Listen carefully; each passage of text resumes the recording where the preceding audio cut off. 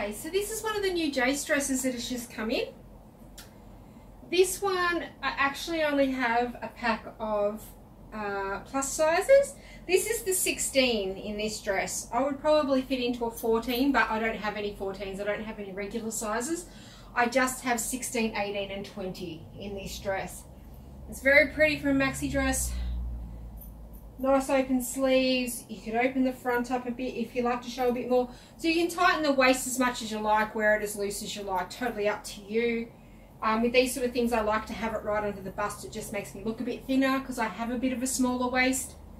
Uh, very nice flowy dress. I would have to wear some um, shoes with a bit of heel on it in this dress because it just drags for me. Very pretty though.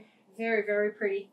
Real little small floral detail, blues and aqua and a bit of pink. It's gorgeous, stunning dress.